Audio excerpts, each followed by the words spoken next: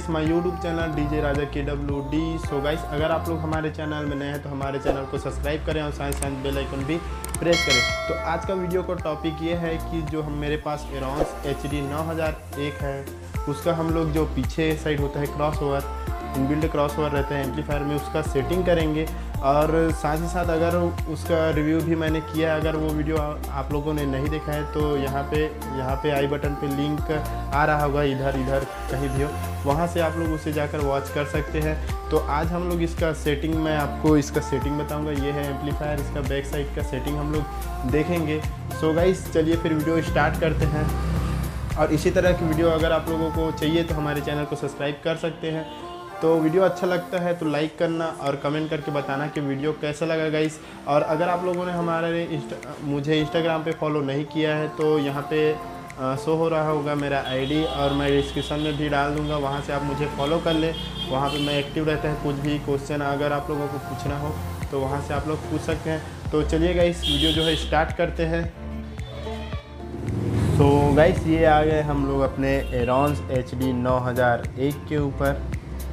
तो ये आप देख सकते हैं, पीछे का क्रॉस वायर तो इसी को हम लोग अभी सेट करेंगे। तो इसको सेट करना बहुत ही ज़रूरी है गाइस अगर आप लोग इसमें बेस चला रहे हैं तो इसको सेट करना बहुत ही ज़रूरी है। इसके बिना आपके एम्पलीफायर जो है पावर नहीं दे पाता है। तो पावर को बढ़ाने के लिए इसको सेट करना बहुत ही ज़रूरी है। तो चलिए गाइस सेट करते हैं। तो सबसे पहले यहाँ पे आप देख सकते हैं लिमिटर ये आप देख सकते हैं लिमिटर तो लिमिटर का मतलब ये है, अगर आप लोगों का एम्पलीफायर जो है लिमिट से बाहर जा रहा है, इसका आउटपुट लेवल तो सामने जो सिग्नल वाला लाइट है, उसमें शो करता है कि आपका एम्पलीफायर का लिमिट जो है बहुत ज़्यादा हो रहा है। तो इसको आपको लिमिट को ऑन रखना है गाइस तो इस तरह से इसको ऑन कर लेना है। ठीक है, उसके बाद बात करते हैं सेंसिविटी तो यहाँ पे आप देख सकते छत्तीस डी बी बत्तीस डी और जो ये एम्पलीफायर आता है वो एक सेट होके आता है छत्तीस डी पे।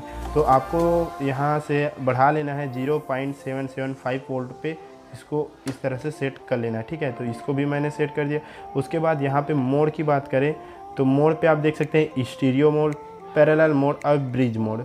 तो सो गाइस यहाँ पे स्टूडियो मोड पे, यहाँ पे अगर हम लोग स्टूडियो मोड पे चलाते हैं एम्पलीफायर को, यहाँ पे हमें दो इनपुट जेक लगाने पड़ेंगे, ठीक है? दो इनपुट जेक, इधर एक इनपुट और इधर एक इनपुट जेक लगाने पड़ेंगे, ठीक है? अगर हम लोग इसको पैरेलल मोड पे रखते हैं, ठीक है? तो हम सिंगल ए में लगाएँगे अपना इनपुट और हम लोग, हमारा जो है, दोनों में चलेगा। इसमें हम लोग इनपुट देंगे तो इसमें हमें लगाने की आवश्यकता नहीं है, कोई भी जेक लगाने की आवश्यकता नहीं है। यहाँ इनपुट देते हैं तो हमें यहाँ से भी यहाँ भी सिग्नल आएगा और यहाँ भी सिग्नल आएगा। और ब्रिज मोड करते हैं, जैसे कि यहाँ पे आप देख सकते हैं, ये है, इसको हम लोग अगर ब्रिज मोड करते हैं, ठीक है? ब्रिज मोड करते हैं तो गाइस ब्रिज मोड में एक ही चैनल पे, यहाँ पे आप देख सकते हैं ब्रिज मोड का ऑप्शन दिखाई दे रहा होगा यहाँ पे। तो एक ही चैनल से आपको पूरा एम्पलीफायर का जो पावर है वो निकलेगा, ठीक है? तो यहाँ पे आप देख सकते हैं ये वाला जो है प्लस हो जाता है ब्रिज मोड में और ये वाला जो है माइनस हो जाता है ब्रिज मोड में। ठीक है गाइस तो ये आप समझ गए होंगे। दोनों रेट से एक जो हो जाएगा प्लस और एक हो जाएगा माइनस तो ये चीज़ आप लोग समझ गए होंगे, ठीक है? अब आगे चलते हैं। तो यहाँ पे आप देख सकते हैं, ठीक है? तो यहाँ पे आप देखें तो यहाँ पे फ़िल्टर 160 एच जे तो ये हर्स ये आप देख सकते हैं फ़िल्टर 160 हर्ज तो यहाँ पे आप इसको स्टे लाइट या फिर फुल रेंज पे चलाना चाहते हैं या फिर सब ऊपर चलाना। तो ये डिपेंड करता है गाइस कि आप इसमें क्या बजाना चाहते हैं। तो ये स्पेशल बेस के लिए है तो इसे आप सब ऊपर पे ही रखिए। ये जो सेटअप है, इसे आप सब ऊपर पे रखिए तो ज़्यादा बेटर रहेगा, ठीक है? और अगर आप लोग फुल रेंज स्पीकर चला रहे हैं तो इसको फुल रेंज पे रख सकते हैं अपने हिसाब से।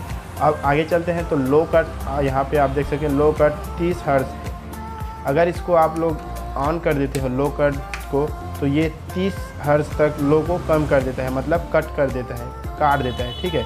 तीस परसेंट बोले तो तीस परसेंट ये लो को काट देता है तीस हर्ज। तो इसको आप लोग चाहे तो ऑन रख सकते हैं, लेकिन मैं तो ऑफ़ रखता हूँ इसको। और यहाँ पे लो फ्रीक्वेंसी इनहेंस्ड अगर आप लोग लो फ्रीक्वेंसी को और भी बढ़ाना चाहते हैं तो ये आप देख सकते हैं लो फ्रीक्वेंसी इनहेंस्ड तो इनहेंस्ड तो इसे आप लोग 100 हर्ट्ज तक और भी बढ़ा सकते हैं लो फ्रीक्वेंसी को।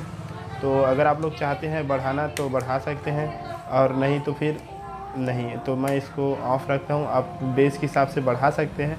ठीक है, इसको एक बार प्रैक्टिकल कीजिए। मैंने तो कर लिया। ठीक है, और यहाँ पे ग्राउंड देख सकते हैं। अगर इसको आप लाइव शो के लिए या फिर लाइव शो के यूज़ कर रहे हैं तो ये जो ग्राउंड वाला है, इसे ऑन रख दीजिए। और डीजे में भी चला रहे हैं तो इसको भी ऑन रख सकते हैं। तो कोई दिक्कत नहीं है। सो गाइस ये था बैक साइड का सेटिंग इसका बैक क्रॉस ओवर का। तो इसके ऊपर बहुत से कमेंट आ रहे थे कि इसको कैसे सेट करना है। तो ये मैंने आप लोगों को बता दिया। सो so गाइस ये था अपना एच डी 9001 जो कि एरॉन्स की तरफ़ से तो ये हमने बैक साइड का सेटिंग कर लिया।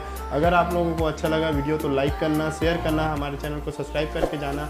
और यार, कमेंट ज़रूर करना अगर आप लोगों को अच्छा लगा हो तो भी। और कोई अगर कुछ दिक्कत हो, या फिर मैंने कुछ गलत बोल दिया हो तो कमेंट करके बताना, ठीक है? तो चलिएगा इस मिलते हैं फिर नेक्स्ट वीडियो में। तब तक के लिए जय हिंद